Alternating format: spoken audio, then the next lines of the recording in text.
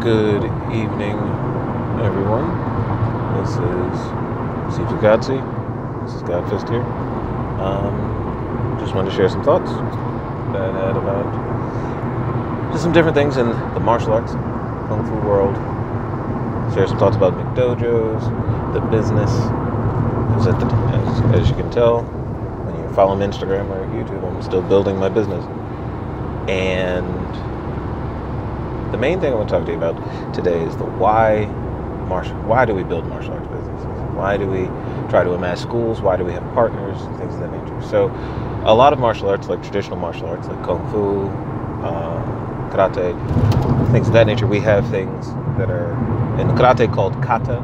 We have a lot of uh, prearranged movements and practices, and we have stance training. We have a lot of different things that can be done on your own, and they exist so that you can practice and develop independently a lot of great skills. The reality is, is that all of those skills are what we would call your basic training.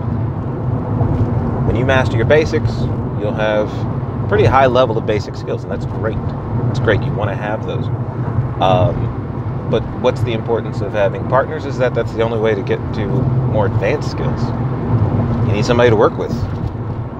Why I believe it's important for an expert of their basics, a person who's really reached what would be called a black belt or a low level black belt or instructor level, is why it's important for them to amass a successful school, to get students of a variety of ages, a variety of uh, sizes, and um, just a variety of students, a variety of mentalities, things of that nature, is that you need the variety in terms of partners to work with.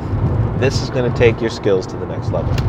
This is the understanding is going to grow significantly.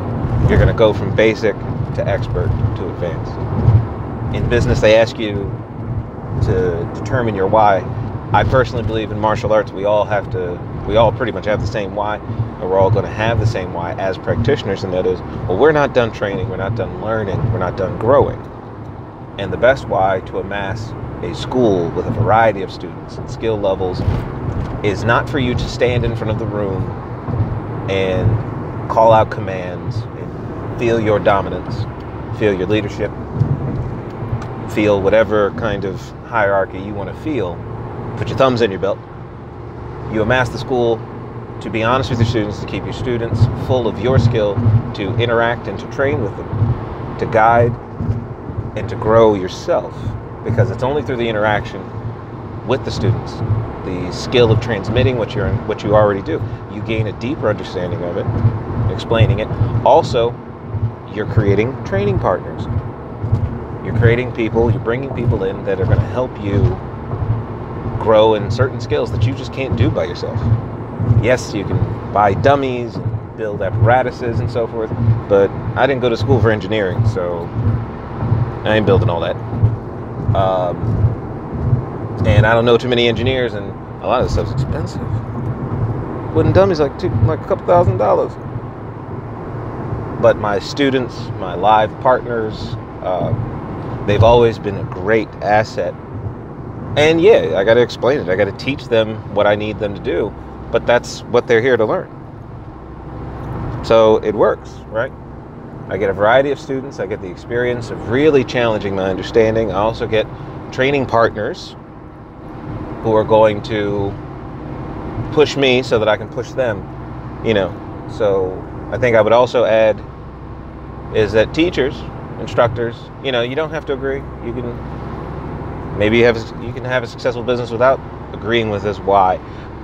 But this is my opinion. This is what I think are the values of having a successful school and why we have to do what we need to do to get those get people in the door is to really build our skill to grow the martial arts themselves right?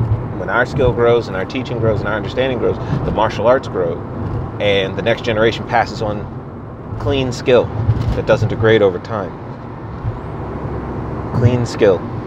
Yeah the forms might change a little bit but does the skill change I like to think that as time goes on, we our athletes get more athletic, our practitioners get more skilled, more capable.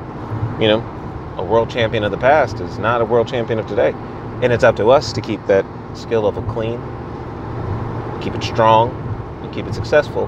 And that means our skills go into the pot with our students. We spar with our students. We sweat with our students. We sit with our students. Sit as in stance sitting for those who do stance training, like sit in your horse stance. Uh, yeah. So for anyone about to get their black belt, have gotten their black belt, thinking about opening a school, not sure about it, what's the next best thing, but I want to improve my skills, is yeah, you can keep learning other martial arts, go to different senseis, sifus, uh, coaches, or what have you. That's a great idea. Don't stop learning, but build a school. Learning more information is wonderful, but you've got to master the information that you have. And to master the information you have, you're going to have to build your own training training zone. You have to build your own dojo, your own gym, and you got to fill it with people. And yeah, you're going to have to use business intelligence. You're going to do some marketing. You're going to have to come up with different things to enter, to bring people in, provide the entertainment. It's up to you to keep the skill going, and it's going to be great for you. Your skills are going to grow. But that's all. Just had to get that out of my head. Share it with the world. Well, thank you for subscribing to Godfist Training. Thank you for following Instagram, following us on YouTube. Leave a comment. Like it if you like it. Share it if you want to share it.